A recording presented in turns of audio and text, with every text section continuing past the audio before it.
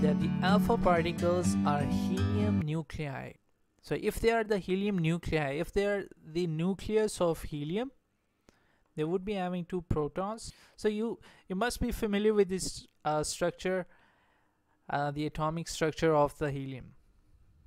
It is the second element in the periodic table. Its atomic number is 2 and the atomic mass is 4 like this. So if I try to draw the structure in the nucleus, we'll be having two protons and we'll be having two neutrons. And around the nucleus in helium how many electrons would be there in the neutral helium atom? What do you think? Two. Very good. So you must be having the same number of electrons as the number of protons. So you would be having two electrons in the or orbit around the nucleus over here. So what we do is if we get rid of the these electrons from the helium atom what are we left with? We are left with the nucleus of the helium atom. That nucleus of the helium atom are considered as the alpha particles. Not the entire atom just the nucleus of the helium atom. So you get rid of the electrons you'll be left with the nucleus. That would be your alpha particles. Beta particles are considered the same as the electrons. So there's nothing much here. Electrons we are already familiar with the electrons. And gamma particles are considered as you must have studied that ele electromagnetic spectrum the rays with the highest frequency highest energy and the lowest wavelength or gamma rays. So these are your electromagnetic radiations.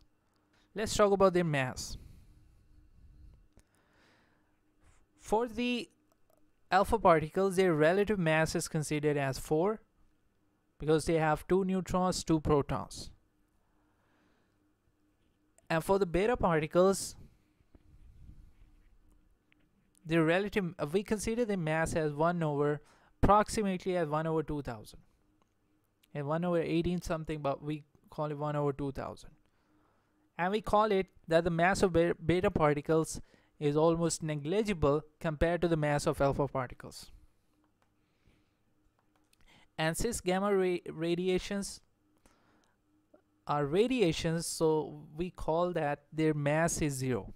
They don't have any mass let's talk about the charge.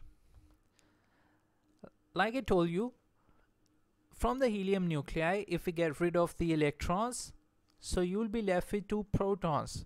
So it would no longer be neutral rather there would be a charge of plus 2 plus 2 of the elementary charge E. Okay E here represents the elementary charge which is 1.6 into 10 power minus 19 it is a charge of protons and it is a charge of electron. If it is a charge of proton it is with a positive sign. If it is a charge of electron it is the same magnitude but with the negative sign. Then for the beta particles their charge is negative 1 obviously makes sense negative 1 times the fundamental or the elementary charge. And for the electromagnetic radiations.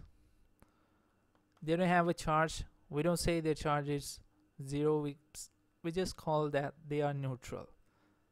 There's no concept of charge for them. Let's talk about their speed.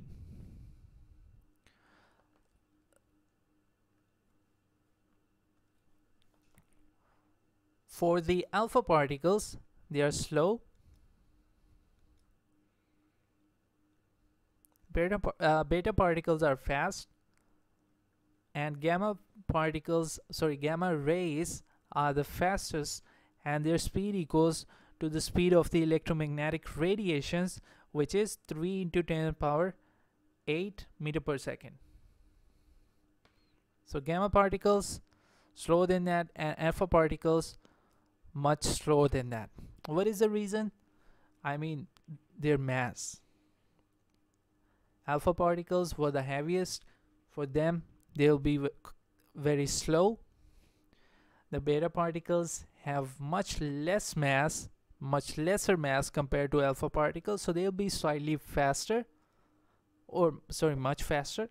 And gamma particles sorry gamma rays are the fastest. Their speed equals to the speed of electromagnetic radiation. Matter of fact all the electromagnetic radiation have the same speed which the light itself because light is also an electromagnetic radiation and the speed is 3 into 10 power 8 meter per second. In simple words it is 300,000 kilometers per second.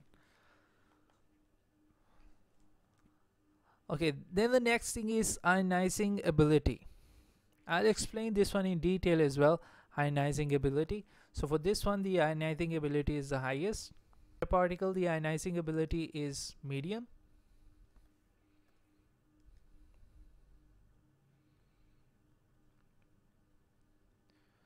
not only the ionizing ability but the penetrating power as well.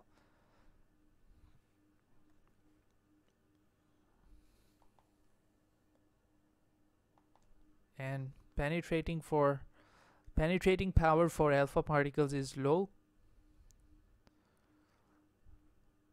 But there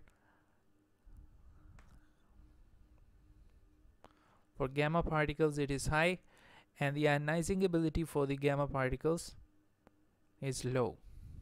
Okay so I'll explain this thing.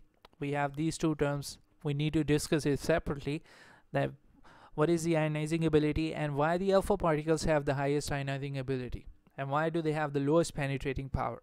So it is itself a separate topic so I'm not going to explain this for for the time being.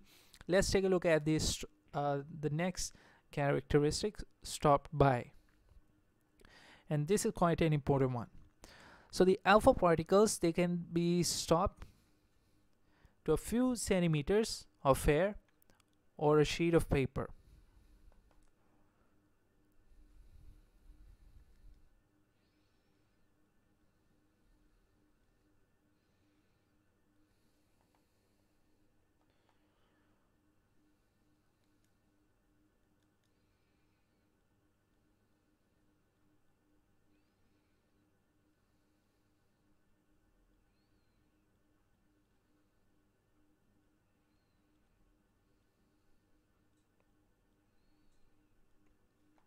However, the uh, the beta particles they are stopped to a few millimeters of aluminum foil.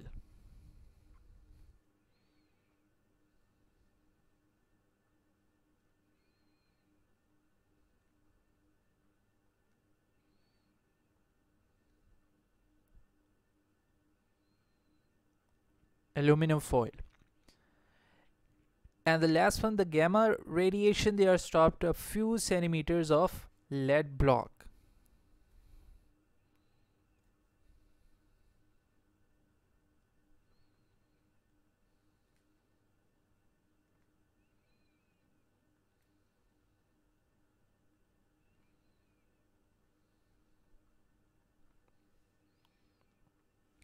And the la last factor we have here, deflected by electric and magnetic field.